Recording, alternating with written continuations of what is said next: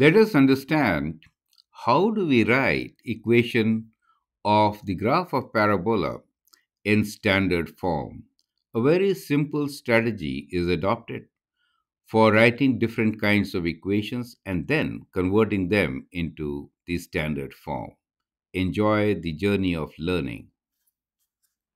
I am Anil Kumar. Welcome to my YouTube channel and the website Global Math Institute. In this video, we are addressing a very common question which has been asked by our subscriber. We need to write the equation from the graph of a parabola. Normally, this equation is given in vertex form or in factored form. In this particular video, see how to write the equation of parabola in standard form. That is, y equals to ax square plus bx plus c. I have taken four different examples to cover the complete lesson on this particular topic. I hope you will understand and appreciate. Few things to remember are that when you write an equation of a parabola, you have to first identify the critical points. Most critical point is the vertex itself. If you can read it clearly, that is the best point to begin with. And you can start with the vertex form, which will be y equals to a x minus p whole square plus q. Now, if you can identify the x-intercepts, like in the third graph, the best equation to begin with will be a times x minus x1 first x-intercept times x minus x2 the second intercept. Now there could be situations where the vertex is right there on the axis itself. Now in this particular case, both the roots are at one point and therefore the forms which is a x minus b whole square works very beautifully. In some situations, you may identify three different points, right, as being shown here. So depending on the situation, you have to choose the starting point. Perfect. So we learn all this in this particular video. Let's begin with the question number one itself. So here we have a parabola which opens up. It does not have any x-intercept. So we have only one option and that is to look into the vertex and a beautiful point which can help us to find the value of a. In this case, we can read the y-intercept, right? So if we can read the y-intercept, which here is 5 for us, right? So 2, 3, 4, and 5. So we can read the y-intercept as 5. Once we have identified the points, it is a good time to begin with the right equation. Since we know the vertex, we'll start with y equals to a times x minus p whole square plus q, where pq is the vertex. In, in our case, the vertex is at x value of 2 and the y value of 1. So we know both p and q. So I can write down this equation as y equals to a x minus 2 whole square plus 1. Now to find the value of a, we'll utilize the known point, which in this case is 0, 5, the y-intercept. So I'll plug in 0 for x and 5 for y. Correct? So we'll write 5 for y and 0 for x. To find the value of a, so we get 5 equals to 2 square is 4, 4a plus 1. So 5 minus 1 is 4a, which is 4 equals to 4a. And that gives you the value of a, correct? So from here, you can write a is 4 divided by 4. That gives you the value of a as 1. Once you find the value of a, you actually know the quadratic equation, which is y equals to a is 1. So we have x minus 2 whole square plus 1. Now to write it in the standard form, we need to expand and simplify, right? So that's the next step. So expand x minus 2 whole square using the quadratic formula. So that is, you know, x minus 2 whole square will be x square minus 2ab minus 2 times 2x plus 2 square which is plus 2 square is 4 and then we're going to add 1 to it right? So we'll combine the like terms. We get x squared minus 4x plus 4 plus 1 which is 5 is that clear to you? So we get our equation in the standard form. Makes sense? x squared minus 4x plus 5 you see from this equation as a check 5 is your y-intercept. You get the idea? The value of a, as we found as 1, is the leading coefficient. So that is how we should find the equation in standard form. I hope the steps are absolutely clear. Perfect.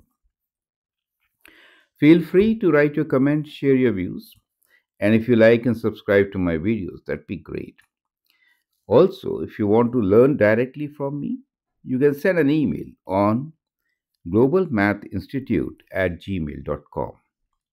Now let's look into the solution of the next question. So I hope you understand all the steps. Now here again, we have a parabola which is opening down. A very good point given to us is the turning point at the x-intercept itself. So let's identify this point, mark it, and what is the value here? Well, x value is minus 1 and the y value is 0.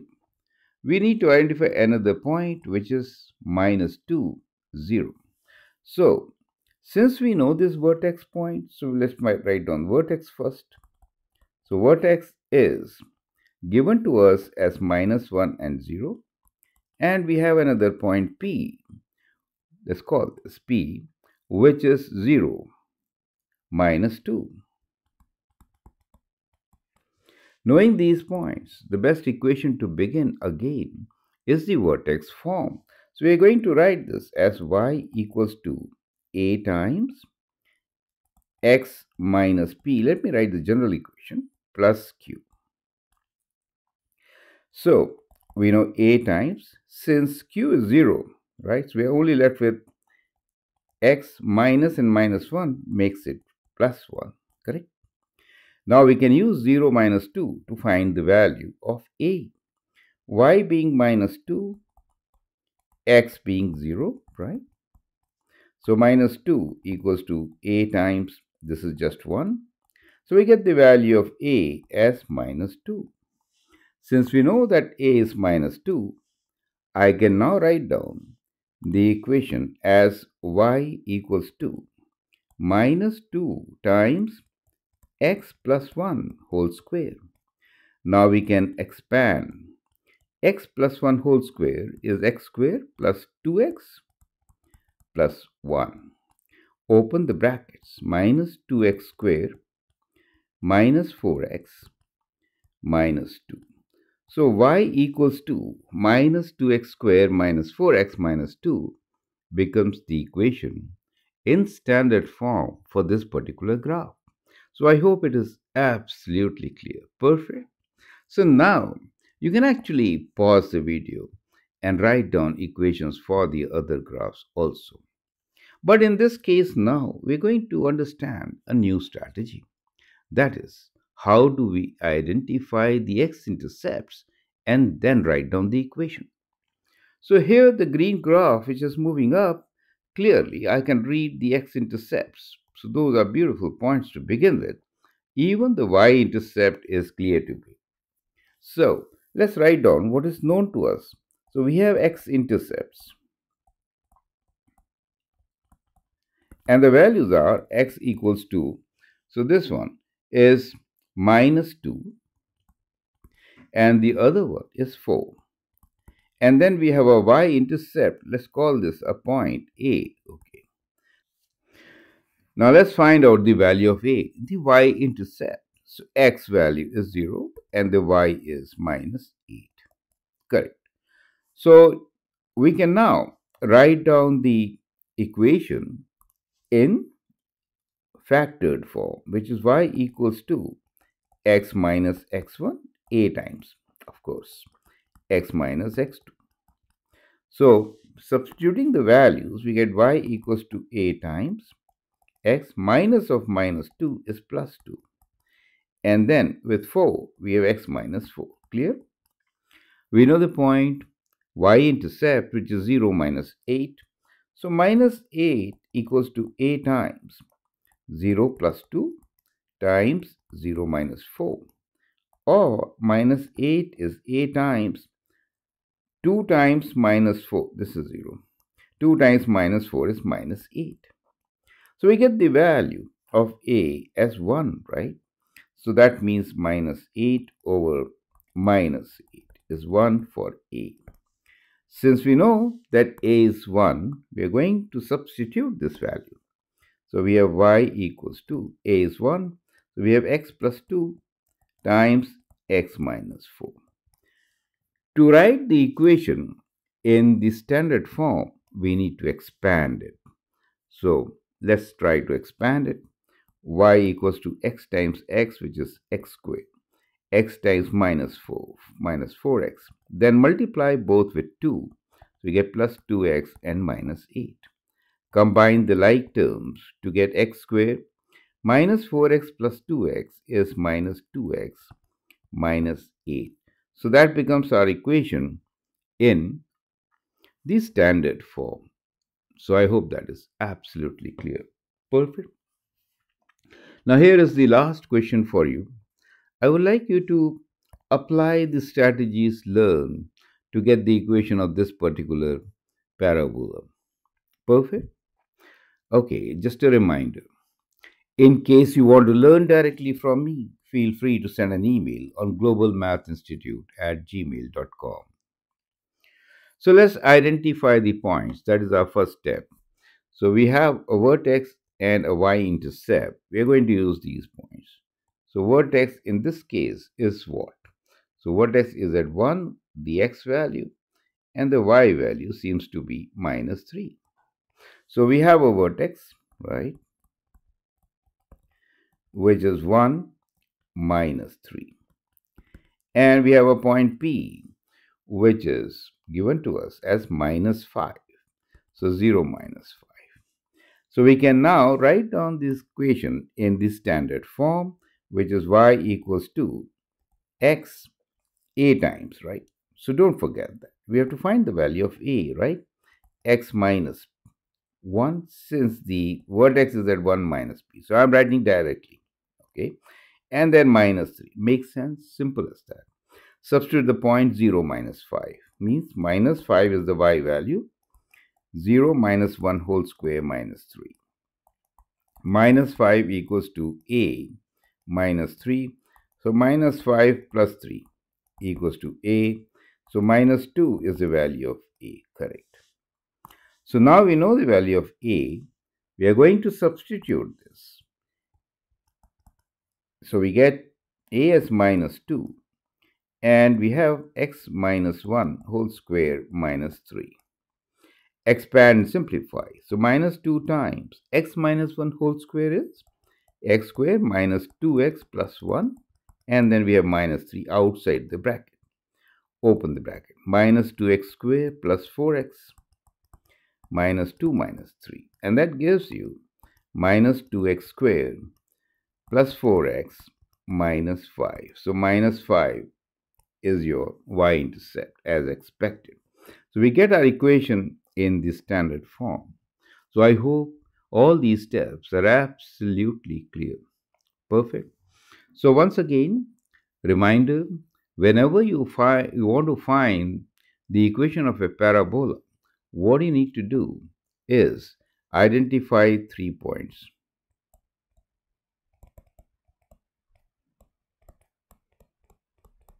So that is your first step.